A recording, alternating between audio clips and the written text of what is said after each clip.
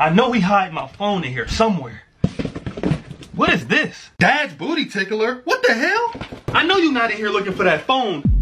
Why are you using this to tickle your booty? Boy, that's your mom's. Ain't no booty tickling going on over here. Dad, mom died five years ago. Damn, you right. Um, it's my lunch for work today. I just forgot it at home. But it literally says dad's booty tickle. You know what? Never mind. Since this thing hasn't been tickling your booty, I want you to prove it.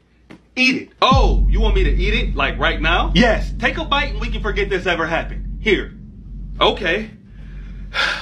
Here I go.